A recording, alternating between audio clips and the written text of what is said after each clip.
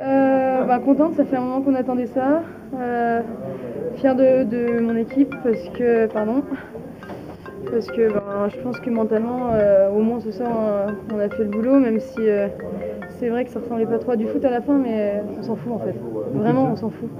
Parce qu'on a gagné, et voilà, on a quand même montré qu'on voulait aller de l'avant dès qu'on avait le ballon et qu'on était aussi dangereux sur certains coups. Donc, donc voilà, après à 10, c'est une autre histoire. Mais on a tenu et voilà, c'est cool. Beaucoup de joie ce soir, vous, vous êtes héroïque à la fin. En plus. Ouais, ouais, ouais, parce qu'en plus, euh, ouais, à 10, et puis on a repensé euh, à tous, tous, les efforts, on a fait un stage hyper dur. Et ça fait longtemps qu'on attend ça, qu'on attendait une victoire. En plus, à Germain, c'est vraiment. Euh, on a, on a, marqué les esprits, ouais. ouais c'est un bel exploit, quoi.